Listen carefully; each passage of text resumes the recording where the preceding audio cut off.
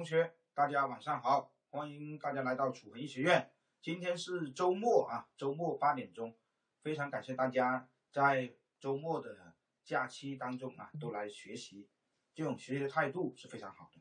因为我们当时在我我年轻的时候在学习的时候也是这样，经常利用晚上啊、周末的时间来给自己充电学习啊。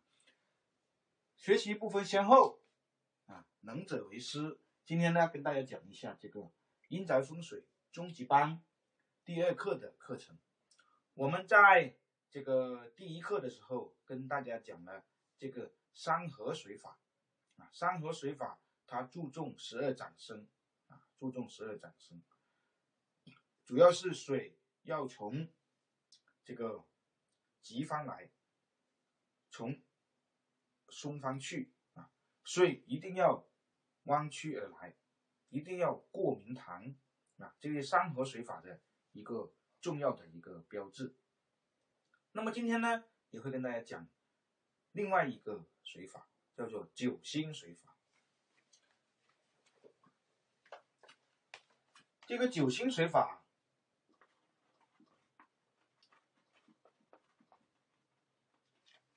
在社会，在实践在社会实践当中也是非常的有用的。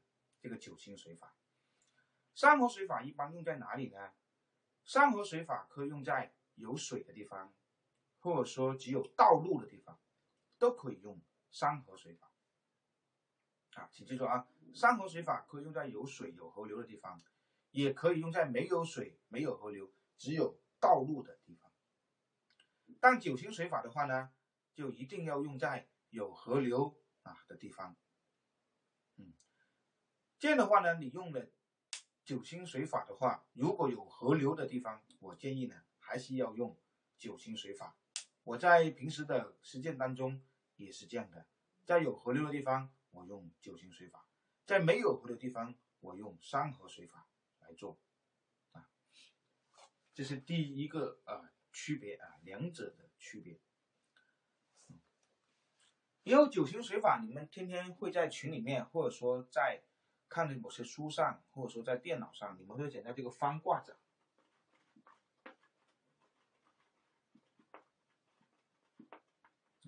你们天天会说这个方卦掌，其实这个方卦掌呢，就是九星水法的一个重要的技巧，重要的技巧。我刚刚在群里面也发了这个方卦掌啊，九星水法方卦掌的一个表。你们就不用记那么辛苦了啊！以前我们没有电脑的时候，没有手机的时候，就经常要在手上啊进行这个排盘啊进行这个排。但现在呢，有了科技的发展，我们很多时候就不用再在手上来排了啊。有一个快速学习的技巧啊，就偷机取巧的技巧，就是说用手机把它给保存下来，保存在你需要的文件里面。你有用的时候，你就把它给翻出来看，就 OK 了，就 OK 了。好，九星水法，今天我要讲一下，什么叫九星呢？啊，其实真真正正说的是八星，说的是八星，说的是八星，一白贪狼木，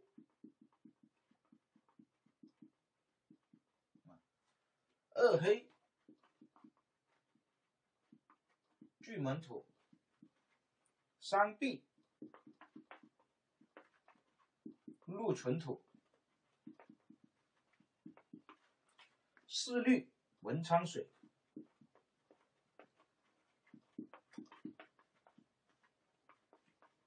五黄连真火，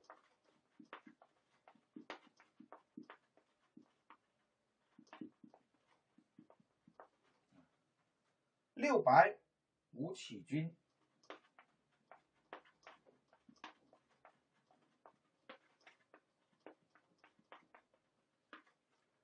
七次破金水，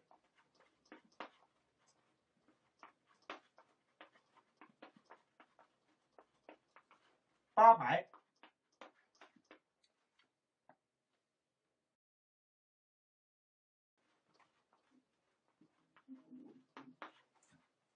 八白左辅右弼土，这些东西记一下就好啊，记一下就好。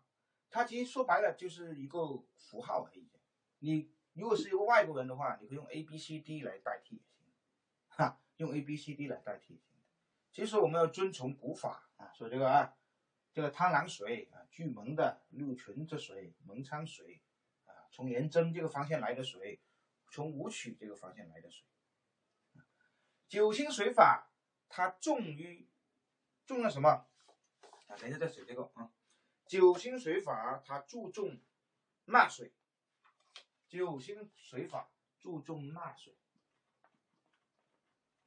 这个水从哪里来，它非常的注重。而山河水法的话呢，它注重去水，水从哪里去啊，非常的注重。这也是有点区别啊，这有点区别。好，记住这个啊，九星水法其实就八星了啊，其实就八星。那么，你用九星水法的时候，有个重要的原则是什么呢？立项用地盘。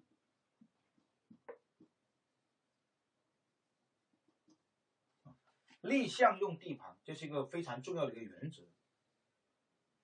当你立项的时候，一定要用地盘来立项。立项用地盘，收水纳水。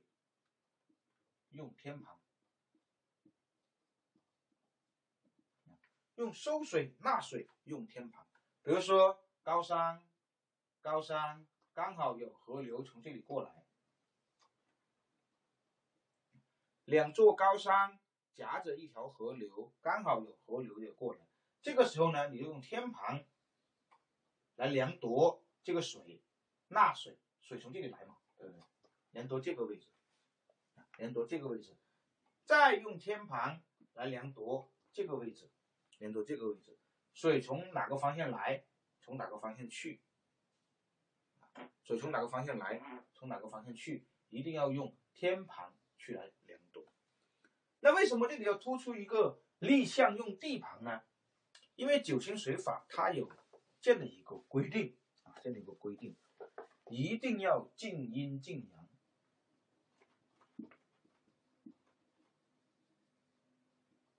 这这个四个字一定要记住啊！这四个字就跟山河水法的重要的区别，它一定要静阴静阳啊。晚一点，等一下就会给你解释什么叫静阴静阳。静阴静阳。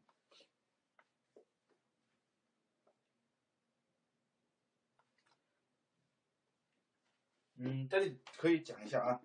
第一个就是说，如果你们一定要记住个双山五行这个概念，双山五行这个概念，双山五行这个概念，壬子贵，丑更寅，天盘里面一个坎卦，一个艮卦，这个双山五行就是说壬子癸丑庚寅，他们立项的时候。都是立在双山上啊，立在双山上，要不立在壬山上，要不立在己山上。但不管立在哪一个上面，它只要是在属于双山五行里面的，都是按一个方向来看，按一个方向来看，这是一点，双山五行一个概念。OK。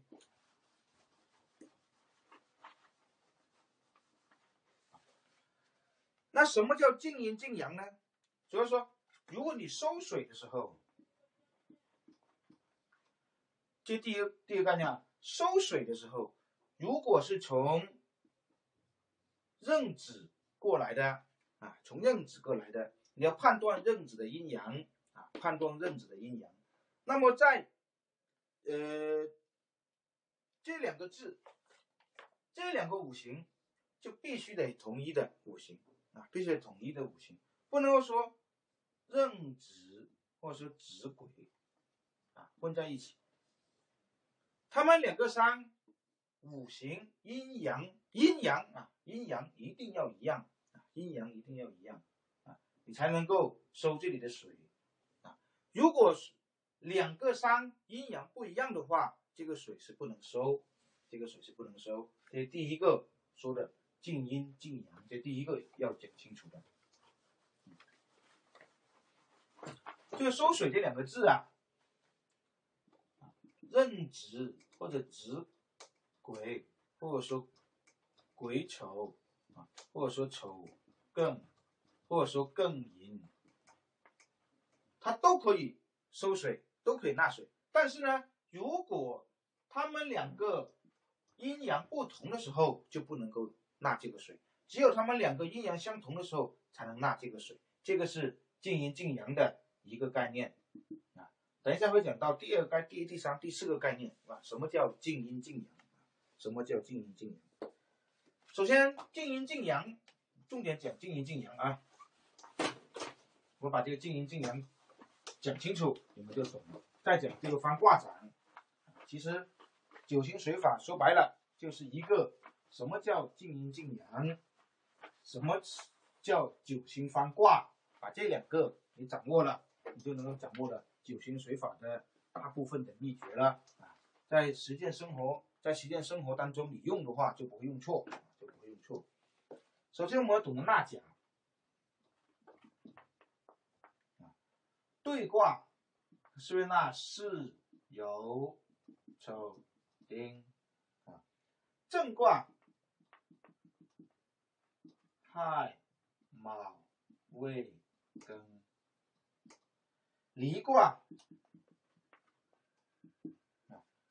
寅午戌壬，坎卦申子辰。癸，乾卦纳乾甲，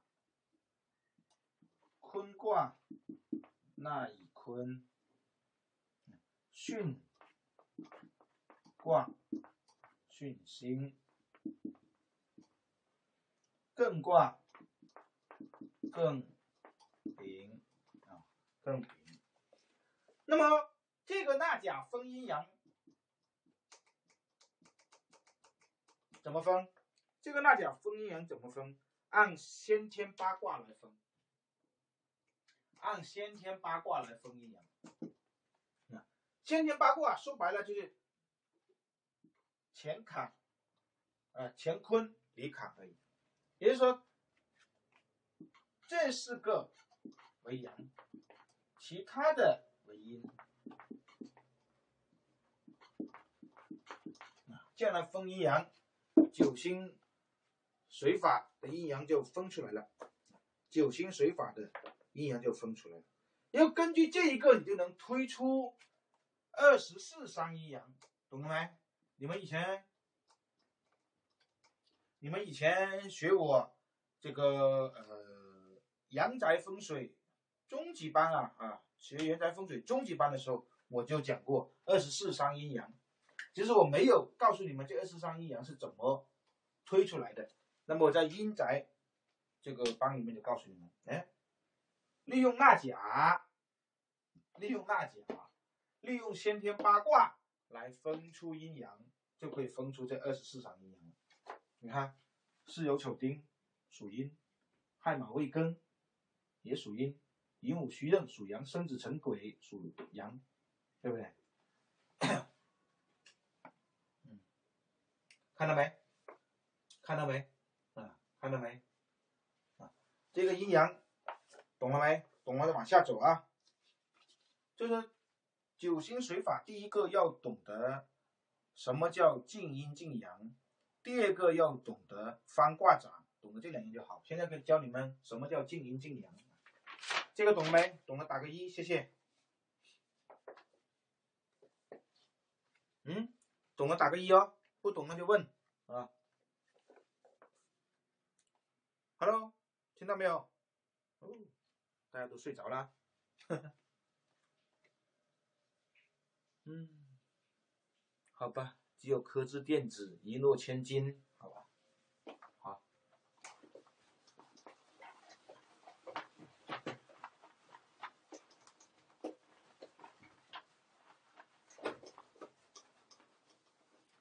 反正九星水法，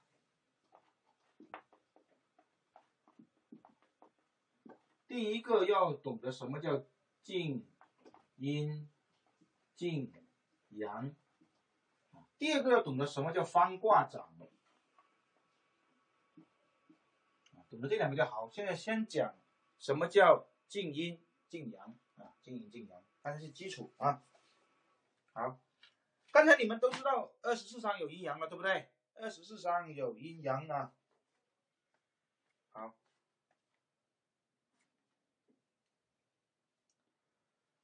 当你看一个外局的时候啊，现在教你们怎么看风水了哦。当你们看一个外局的时候，找到这个房间，顶顶这里下楼盘，顶顶这里下楼盘啊，地盘阁龙。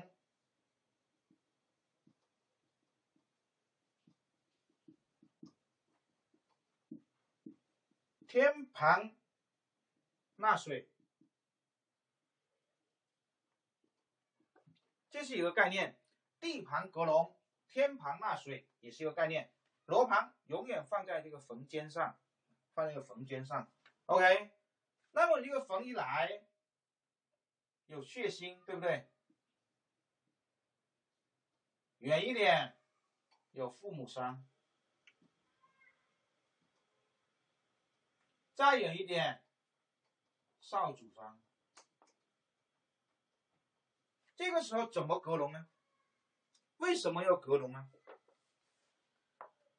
因为九星水法看外局的时候，用九星水法看外局的时候，请记住两句话，请记住两句话：阴龙入手。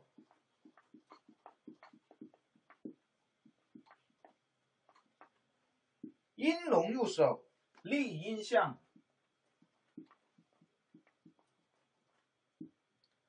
收阴水，消阳水。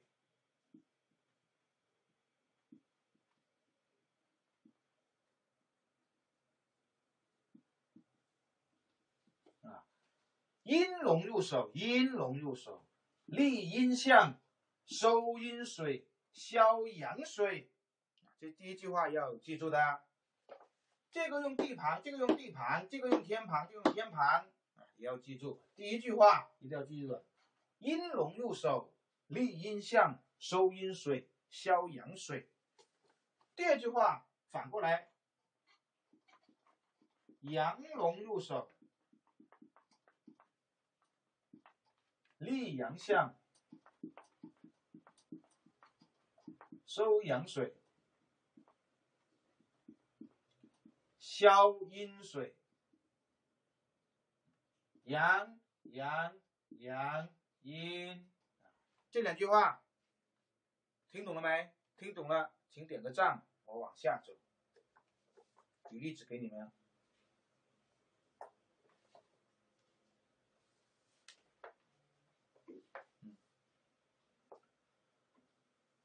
不管是收阴水还是收阳水。都要收吉方的水啊，这又有一个区别啊，又有个区别。等一下，你懂了方卦掌之后，你马上就知道什么方位是吉的，什么方位是松的，你就能够知道了，就能够知道了。嗯，这是两句话要记住的。那么，怎么样知道什么是阴龙入手，立阴象，消阴水呢？就刚才那个，刚才那个。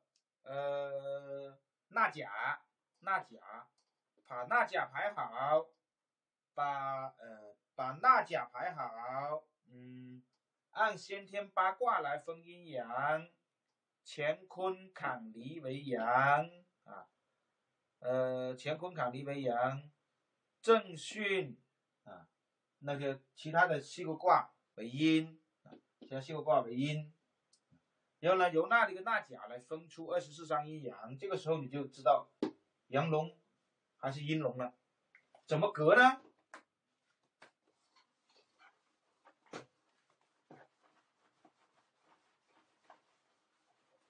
怎么隔呢？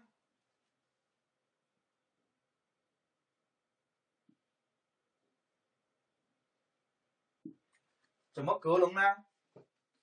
格龙很简单，阴龙入手，主要是在这里下罗盘，啊，在逢间下罗盘，用地盘格最高的点，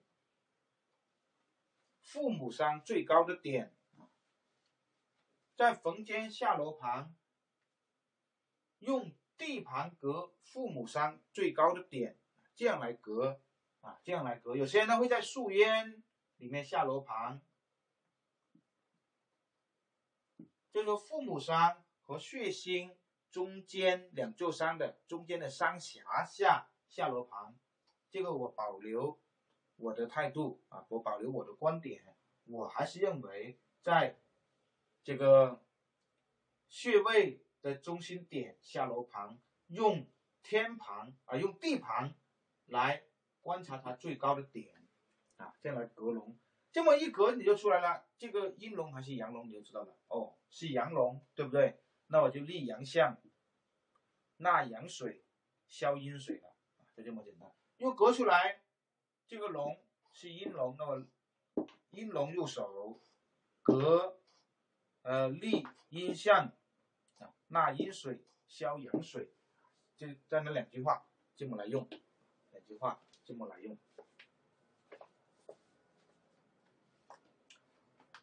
我举个例子就知道了啊，再举个例子啊。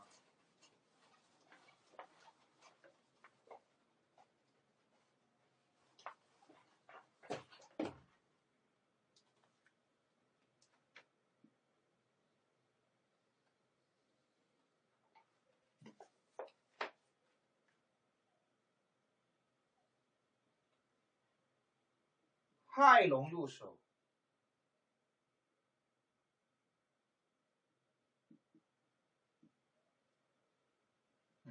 嗯，这亥龙入手，亥龙，亥卯未庚，是不是正卦的那甲？正卦的那甲是不是属阴？这叫阴龙入手，这叫阴龙入手，这叫阴龙入手。那么，他要立相，立什么相？对吧？肯定要立阴相啊，啊，呃，立阴相啊，对啊，立阴相啊，壬伤丙相，比如说壬伤丙相，是不是阴相？丙艮卦那艮丙嘛，为阴嘛，对不对？艮卦那艮丙嘛，为阴嘛，说立丙相。立任山丙相，这个是可以。亥龙入手，立任山丙相，就是阴龙入手，立阴相。那么立完阴相之后，水怎么收呢？纳哪里呢？消哪里呢？纳哪里消哪里呢？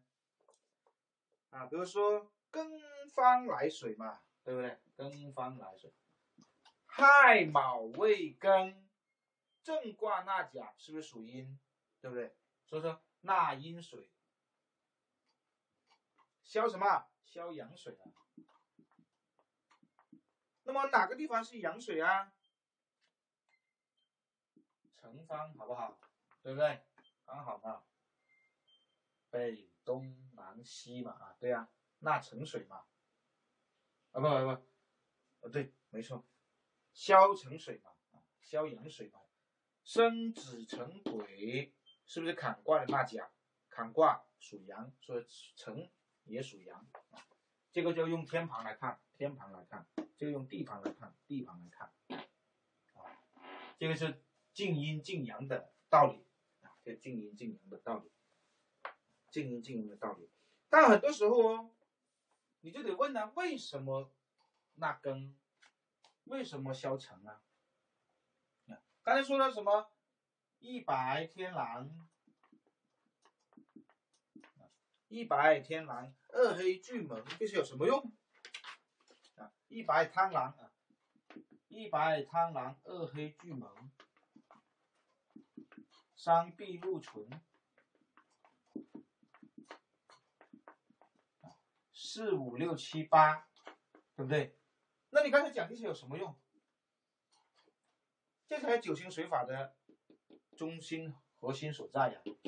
啊，静阴静阳是一个。那么我纳的这个更方的来水到底是汤囊水啊，还是巨门水？是禄存水啊，还是文曲水？啊，是廉贞水啊，还是武曲水？不知道，对不对？那怎么才知道？那么消的这个成方，成方消的水是消在汤囊方啊，还是消在巨门方，还是在禄存方？还不知道吧？这个时候呢，就要用到方卦掌来判断了。因为这八星里面啊，说是九行水法，这八星啊，这八星里面它都有吉凶积分的，它都有吉凶积分的。纳水的时候一定要纳在吉方。消水的时候一定要消在松方，纳水的时候纳在吉方，消水的时候一定要消在松方。他们这里是有吉松积分的啊，有吉松积分的。嗯，我直接告诉你们吧，什么是急，什么是松啊？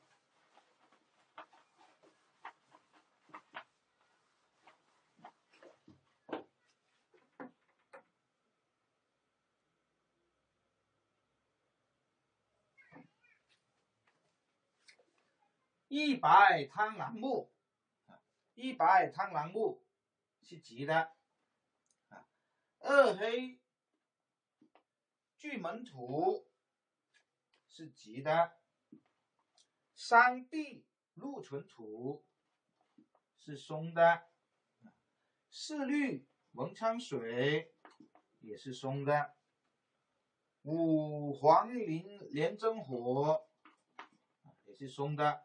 六白五起金是吉的，七次破军水是松的，八白左辅右弼土是吉的。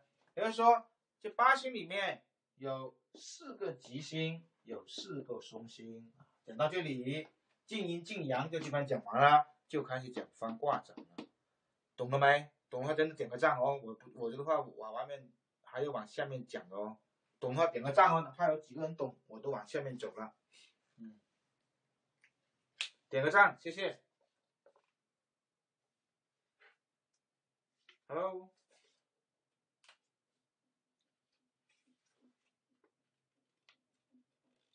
都不在啊，都不在线了，都挂在机啊，都挂着机啊。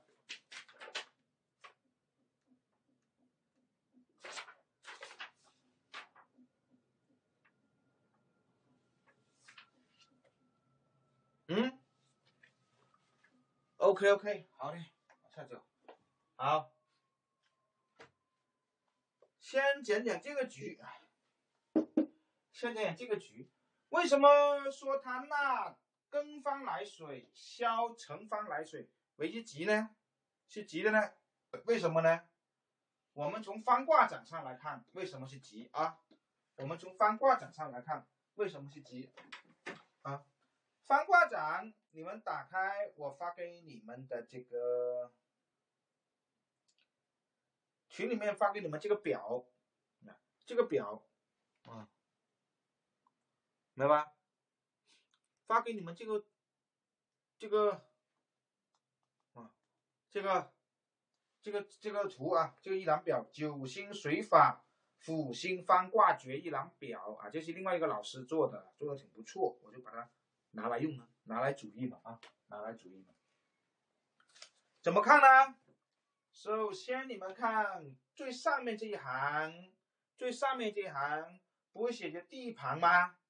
啊，最上面这一行不写地盘吗？然后这一行写着天盘吗？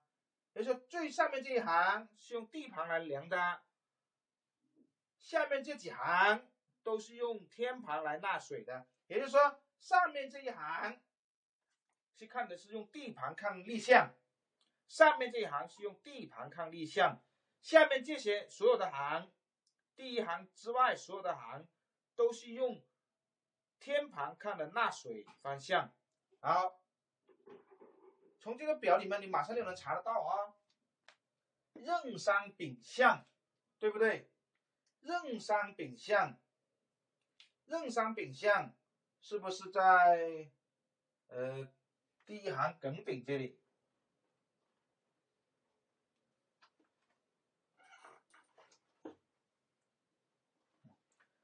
第一行的第二列啊，第一行的第二列。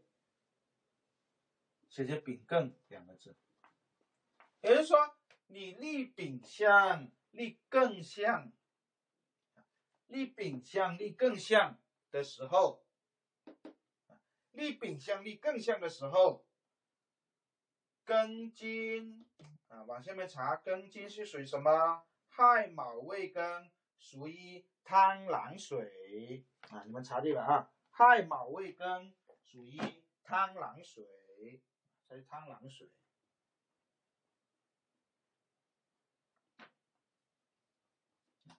一白汤狼水是不是吉利的水啊？对不对？是吉利的水嘛？以后辰呢？申子辰癸，再查这个表，申子辰癸，第一行。第二列啊，看第一行第二列的交界这里，生子成癸啊，生子成癸是属于禄存水啊，禄存水是不好的？伤必禄存水属于禄存水啊，这个就是查图就能知道，它在九星水法里面，它到底属于贪狼水啊，还是属于禄存水的？贪狼水啊，还是属于禄存水。哎，我我再再说一次，可能你们看不懂。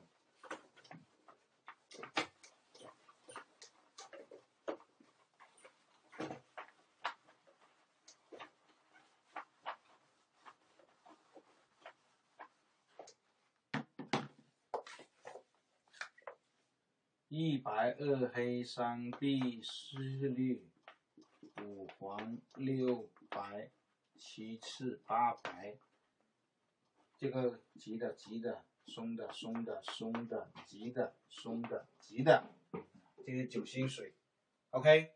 然后刚才这个是壬山丙向。从庚方来水，辰方去水，那为什么它叫汤狼水呢？因为汤狼水是急的嘛，要纳急水嘛，消松水嘛，啊，这个是呃禄存水啊，禄存水，禄存方，所以它这个是急的，这是松的，这个纳水是 OK 的，啊，OK 的，为什么？啊，为什么我们可以查表来看？查表，这个表里面它不是说有这个东西的吗？一个、两个，对不对？三个、四个，巳酉丑丁，巳酉丑。丁、丙、庚，这第一行啊，第一行，第一行，丙、庚、辛、辛、亥、卯、未、庚，亥、卯、未、庚，啊，这第一行，因为第一行里面，它的第二行，为什么我只要第二行呢？啊，为什么只要这一行呢？不要这一行，不要这一行呢？因为你看，它立的是丙相嘛，它立的是丙相嘛，对不对？所以说呢，我这一行来找，这一行来找，这一行来找，它这里不是写的很多吗？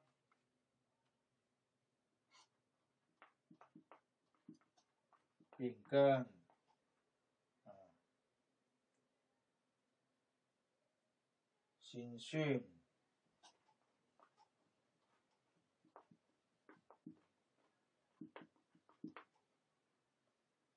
呃，甲醛，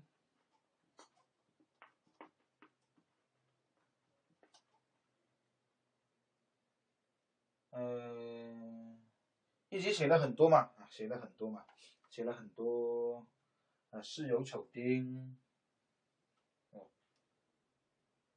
呃，亥亥卯，亥卯未庚，啊，有有很多嘛，那你要查这个表吗？查到时候。你就会发现，它只拥有一栏，是这么写的。这是庚金嘛，亥卯未庚，亥卯未庚是哪在哪一栏？亥卯未庚在倒数第三行，一二三，倒数第三，亥卯未庚正卦嘛，对不对？在正卦这一栏里面，亥卯未庚啊，刚好纳水就纳在这里，那这里一查这个表，这里这边不是写着贪狼生气嘛？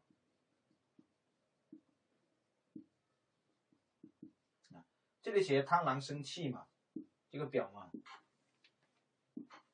在最右边啊，最右边不写贪狼生气嘛？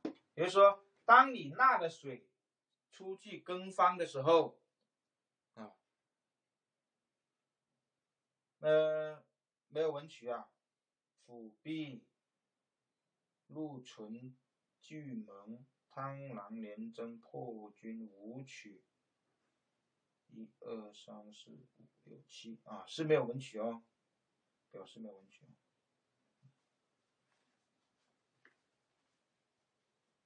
哦，哦他这表还没文曲的，我我我补回来，到时候，OK，到时候就补回来。认真看嘛，没事，反正道理都是这样啊，道理都是这样，道理都是这样。那么乘法呢？乘方又属于什么水？生子成鬼嘛，生子成鬼在这里最后一个。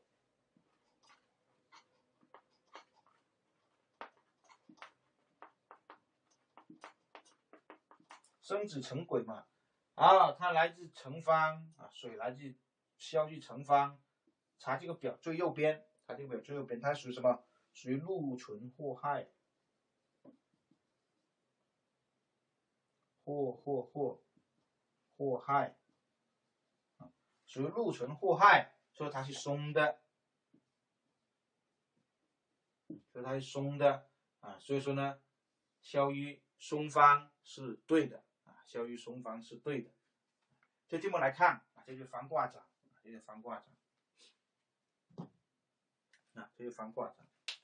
第一翻卦掌，第一个懂得。这八星的吉松，纳水从吉方来，消水从松方去，这第第一个要知道的。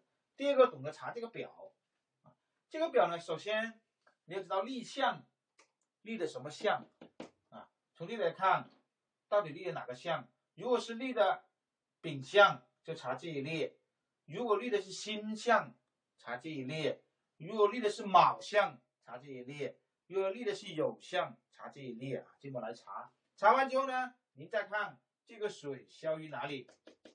消于根金啊，纳于根哪里？纳于根根方啊。用天盘来看，纳于根方。从这里看，根在哪？哦，根在这个框框。好，根在这个框框，我从从这个框框往右边再来查，它属于什么水？啊，就知道这个水是松还是急了啊。讲到这里，明白了没？讲到这里，明白了没？再举个例子，你们就懂了。再举个例子，再举个例子给你们。嗯嗯嗯嗯。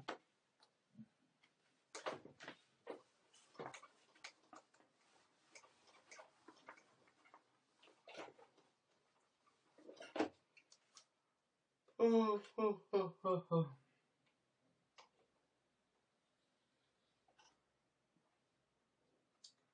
生龙入手，生龙入手，我们说是生龙入手啊。那么生龙入手，呃，生子成鬼，啊，那以坎卦，坎卦为阳，对不对？嗯，坎卦为阳，好，生，那么我可以立个假象，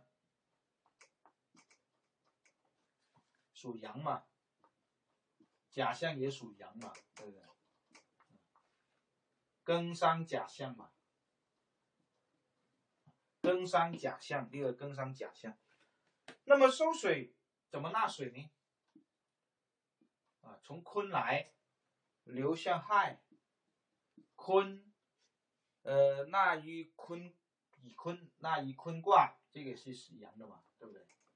亥卯未庚属正卦，那个属阴的。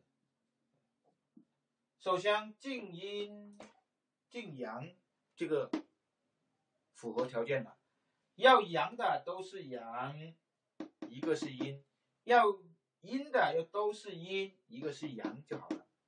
啊，就是说你的龙入手，龙入手，立象纳水的象都要是同样是阴的，或者同样是阳的就好了。只有消水的。这一方是跟前面这三个阴阳相反啊，阴阳相反。OK，那么阴阳是同啊，阴阳是一致的。那么吉凶是否是一致呢？对不对？你除了要考虑阴阳一致之外，还要考虑除了考虑阴阳一致之外，还要考虑吉凶也要一致啊。所以这个时候用到方卦掌啊，啊，用到方卦掌啊。然后呢，再查这个方卦表嘛，再查这个方卦表嘛。嗯，这讲一个阴宅真的好累哦。呃，立甲象对不对？立甲象，这个表里面最边边的，这表里面最边边那一列，立甲象嘛。呃，坤在哪？乙坤，乙坤嘛。乙坤，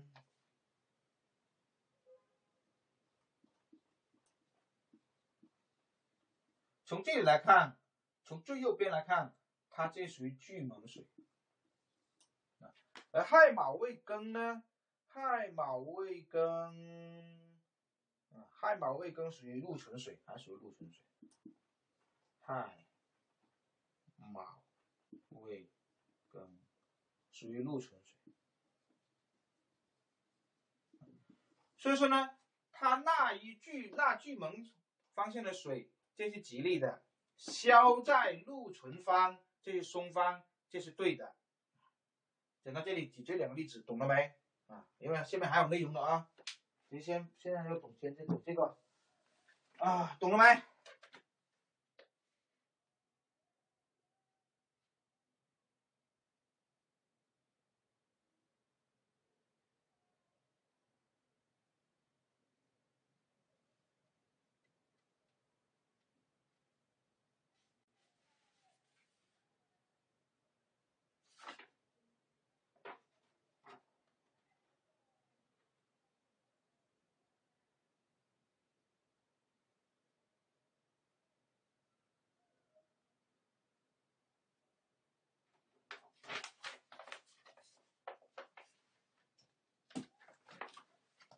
懂了没？懂了点啊，是啊，是懂了点。一开始是懂了点，但起码这个思路要懂啊，这个思路要懂啊，这个思路要懂啊，因为毕竟是网络上教学，一个九天水法，我能够把它给融合成这两点，我都觉得我很聪明了。嗯，坤不是阴卦啊，乾坤坎离为阳卦。叫先天八卦啊，说的先天八卦，先天八卦啊，周光亮懂啊，啊，所以有些时候，你说啊，我当时我接到要要教阴宅风水的时候，我头也大的，不知道怎么教，那不知道怎么教。你看一个九型水法，有些师傅专门教九型水法的话，他能讲个三天两夜，他能讲个三天两夜。但我要用一个小时来讲九型水法，我应该怎么讲？我就想到了这个，我就想到了这个。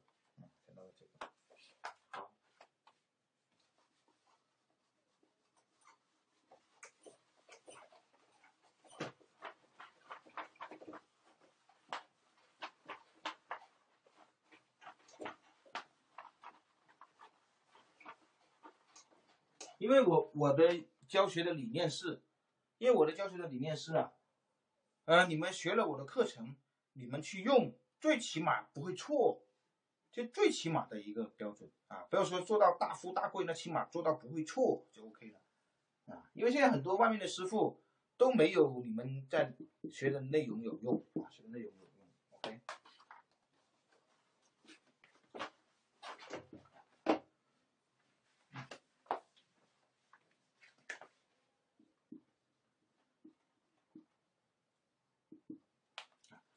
那么你们在实践的当中，你们在实验的当中，你们会发现，用地盘隔笼的时候啊，用地盘隔笼的时候，你会发现什么？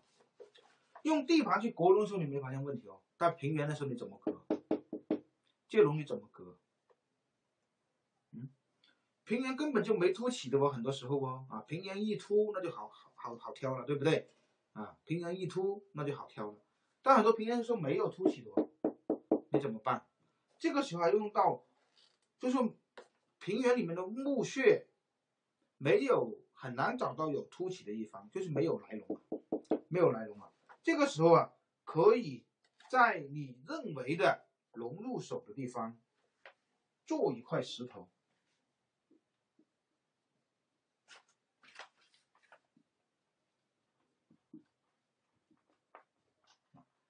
这个石头真的要大一点啊啊，最起码有多大嘞？零点五立方，这最起码的啊，零点五立方，在平原的地方，在龙入手的地方，安一块石头进去，安一块石头进去，要用呼龙的方法，要用呼龙法把龙呼过来。以这块石头作为龙入手，以这块石头作为龙入手啊，大概要知道这个方法。以后呼龙这个法在高级班教你们啊，在高级班教你们。你们看很多呃微信视频也会有人在呼龙啊，在那里唱啊喊啊，其实也是一种呼龙的方法，还是呼龙的方法啊，呼龙的方法，这是一个技巧。现在后面讲技巧啊，因为。九行水法就那么点东西，静阴静阳，啊，翻卦掌就那两样东西，剩下的就是讲一些技巧，用九行水法做事的一种技巧。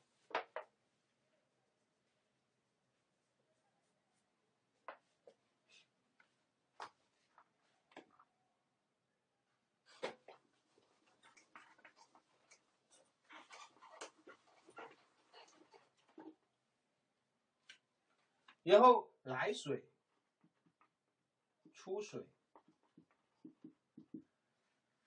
来水，第一要选巨门，第二选贪狼，第三选武曲，第四才选这个左辅右弼。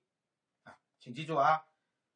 来水第一要选巨门来水，第二选贪狼来水，第三才选五区来水。第四，再选辅币来水，去水。第一要首选的是破军去水，第二首选的是廉贞去水，第三文曲去水，第四绿纯去水。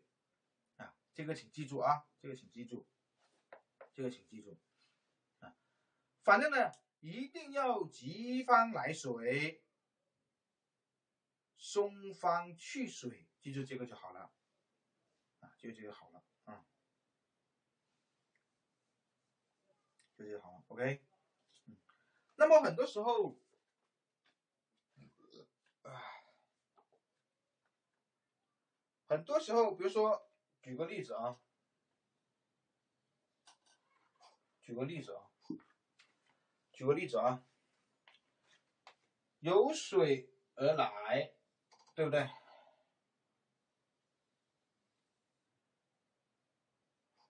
水的方向，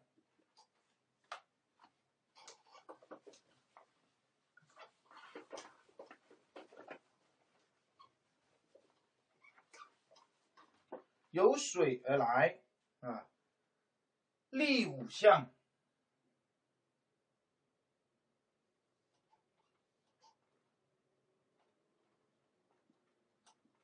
五象寅午戌壬纳离卦。是不是属阳？对不对？寅午戌壬纳离卦是不是属阳？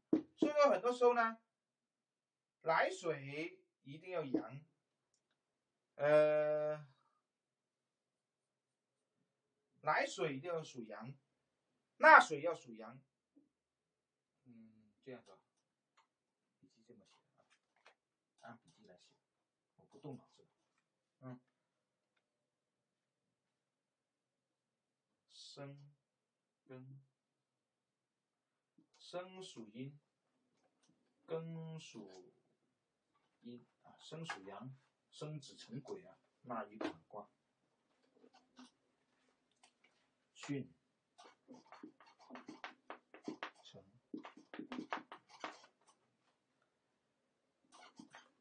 这个属阳，这个属阴。按静阴静阳的理论，对不对？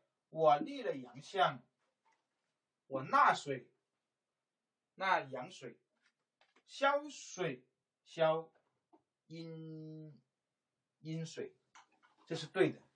但很多时候你们发现哦，承训巳这二十四章里面，承训巳承训是紧挨在一起的，紧挨在一起的啊。嗯，然后呢？根有心，也是也基本上挨在一起。很多时候你就到底会纳到这个水啊，还是纳到这个水呢？还是消到这个水呢？消到这些松的嘛？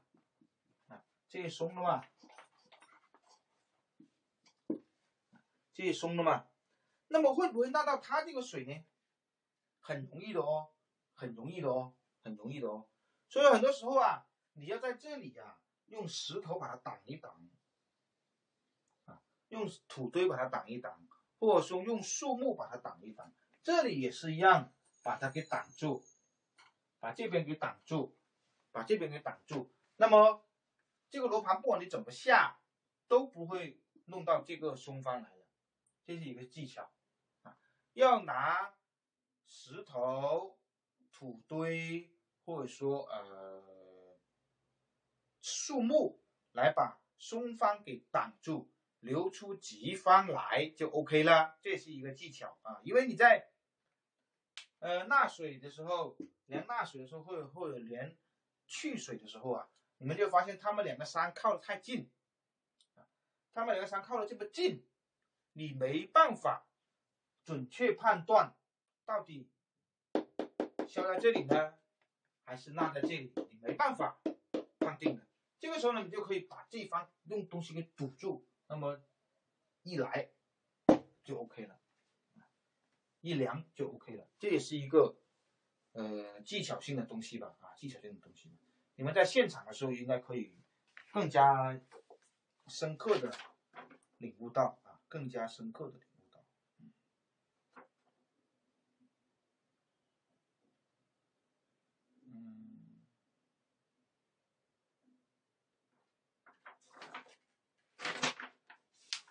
一样的，去水要弯曲啊，去水要弯曲啊，就是水要来要弯弯曲曲，要过明堂啊，水来要弯弯曲曲，要过明堂啊，水流不能够过于快速，不能够过于快速啊，水不能够积累、积松啊、积背都不能够啊，这这这这这个这这个是哪一个门派都要求的了啊，哪一个门派都要求的。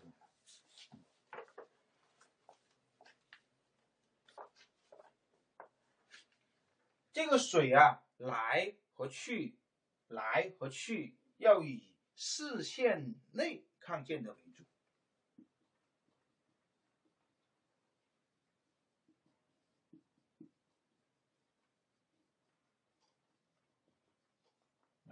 请记住这句话：以视线内看见的为主啊！就你站在这个房间上，在这个房间上，以你视线内看到的为主。呃，无线飞机看到的不算啊，无线飞机看到不算，以你视线内看到的为主。还有一个就是说，嗯还有一个就是说，嗯，比如这个水啊，弯弯曲曲这么走，对不对？弯弯曲曲这么来，弯弯曲曲这么来，那我到底要这一段呢？还是要这一段，还是要这一段，是不是也有疑问？对不对？是不是也有疑问？所以说那一句话以视线内范围的为主，是怎么看呢？就是说，如果你觉得这一段好，觉得这一段好，那么这两段就不会把它挡住。一挡住的话，挡哪里就算哪里。比如说，如果一二三，我在三这里用石头挡住了，那你只能量这里，你就不能够考虑这里。或者说，如果我在二这里挡住了，我就得量二这里。如果现在三这里有一这里有挡住了，我就量一这里。是这个道理，这个道理懂不懂？这道理懂不懂？不懂的话你就搞不出来啊。朝上与岸上方向两边，这个应向阴朝岸山还是阴朝朝上？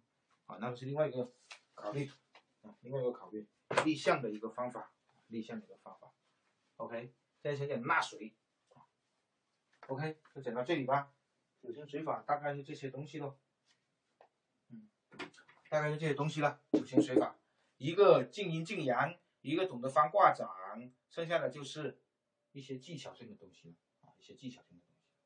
OK，好吧，先到这里吧。OK，嗯，好，那今天讲课就到这里吧。嗯，因为毕竟是周六啊，大家好好的休息。当然，休息也不要忘了这个把今天的课程啊要做好笔记。好，我们下周下周五八点钟我们再。见吧，哦，下周二，下周二就有第三课了。好，再见，拜拜，拜拜。